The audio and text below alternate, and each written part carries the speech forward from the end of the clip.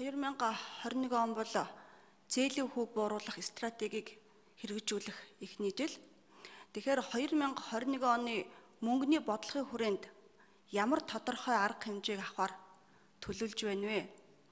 Тэр дундаа хүн амын 30%-ыг эзэлж жилд 5.2 их найт төгрөгийн борлуулалт хийдэг малчтын маань амьдрал туйлын хүнд байна. Би сая Баян хонгор аймагт тойрогтой ажиллаад ирлээ. Хавар ноолуурын үн өсөөгүй гантай байснаас шалтгаалаад Баян хонгор аймгийн говийн сумдын малын мах үнгүүцснэр малчид зээлээ төлж чадахгүй төрж арилжааны банкнуудын чанаргүй зээлийн хэмжээ нэмэгдэх нь бол тодорхой боллоо. Иймд тэр тусмаа өвөлжилт хүндэрч байгаа буюу одоо гамшигын нөхцөлд байгаа Баян хонгор аймгийн малчтын зээлийн төлөлтөнд уян хатан хандах тусгайлсан мөнгөний бодлого одоо хэрэгжүүлэхэд арилжааны банкудад дэмжлэг үзүүлэх ийм боломж байгаа юу? Мөн энэ талаар 2020 онд ямар алхмууд хийх вэ? За үүн дээр Баян хонгор аймгийн 12 мянга гарan малчтын асуудал бол хөндөгдөж байгаамаа. Одоогийн байдлаар Баян хонгор аймагт нэг мал одоо нэг хонь хоёр боодол өвсний үнд төрчихсөн. Малчтын гар дээр бэлэн мөнгө авахгүй бүгд арилжааны банкнуудад зээлтэй ийм л хүндрэлтэй байдалтай байгаа учраас нэгэнт төв банкны удирдлагууд энд оролцож байгаа учраас энэ асуултанд би тодорхой хариултыг авмаар байна. Ноён 3 Монгол банкны ерөнхийлөгч.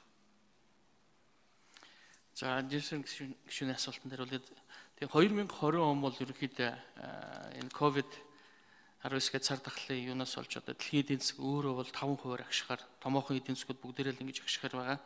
За Монгол улсын хувьд бол 9.7% хагасчлаар агсцсан байна. За бидэд энэ ондоо бол энэ агшилт нь багассаар нөхөгцөөр байгаад оны эцэст бол нэг 2-оос 3 2.8%-аар агших болов гэсэн л ийм хүлээлттэй байна. Тэгэхээр энэтэй холбогдуулаад бол Монгол банк мөнгөний бодлогын хувьд бол 3 ийм багц гарах хэмжээ авсан бодлогын хүүг буулгаж заавалуулах нөөцийг ингэж багасгаснараа бол тодорхой хэмжээний их усруудыг бол банкудад бол гаргаж өгч байгаа.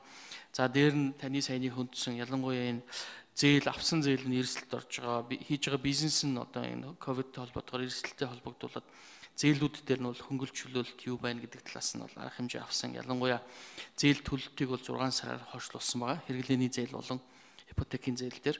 За бизнесийн зээл дээр бол одоо бас бүтцийн өөрчлөлт хийхийг бол зөвшөөрж байгаа.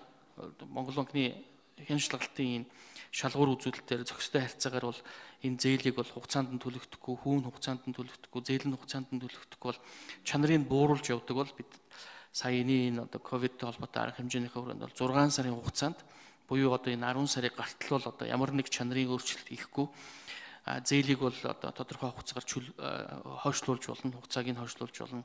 Бүтцийн өөрчлөлт хийж бол одоо чанаргүй ангилд оруулахгүй байж болно гэдгээр ингээ хандаа явж байгаа учраас бол өнөөдөр бол ерөөхдөө юм гайгүй яваад байгаа. За би танд тоо хэлэх юм бол одоо ковид гарснаас хойш 8 сарын төгсгөл хүртэл бол нийтдээ 5.6 их найт төгрөгний 137 мянган ийм зээлдэгчийн энэ зээлд бол энэ өөрчлөлт хийж энэ чанаргүй зээлд оруулах энэ ангиллыг хойшлуулсан байгаа.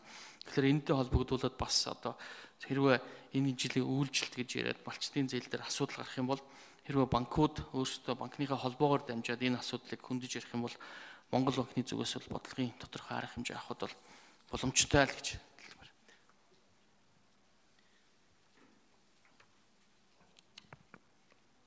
За, Адиас гүшин тодруулж байна.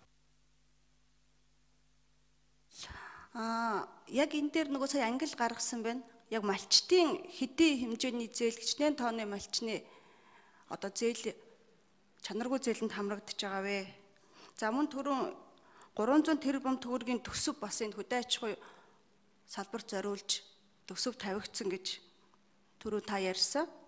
Энэ дээр тодорхой хэмжээнийг одоо жишээлбэл бид бүгд ковид 19-гээд маш их анхаарал хандуулж байгаа, сайн ажиллаж байгаа засгийн газар Тэгээ ковид 19-өөс илүү гамшигын хэмжээнд одоо Баян хонгор аймаг бол хүрсэн байгаа. Өчтөр улсын их хурлын дарга маань ярьсан Баян хонгор аймагт гамшигын эрсдлийн үнэлгээ тогтоолох ажил бол хийгдэж байгаа гэсэн.